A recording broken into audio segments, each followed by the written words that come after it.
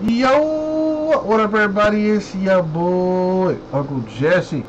We are gonna go ahead and uh, do our $300 giveaway. Remember, I give away $100 every day. However, I'm not live on Mondays and Tuesdays. So because of that, on Wednesdays, I give away $300. So if you made a purchase from Sunday, uh, let's let's be specific here.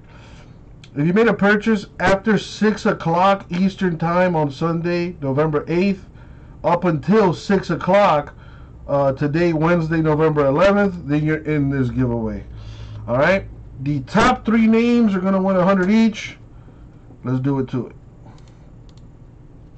All right. So let's get this out the way. Let's roll a die. Ooh, wow, okay. We don't do ones or twos, but we do number three.